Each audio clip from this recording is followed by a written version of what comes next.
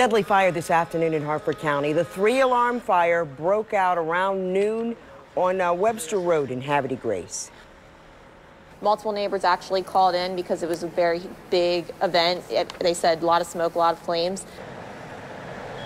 The person who died was the only person in the home at the time. It took about 50 fires, fire, 50 firefighters rather, two and a half hours to contain the fire.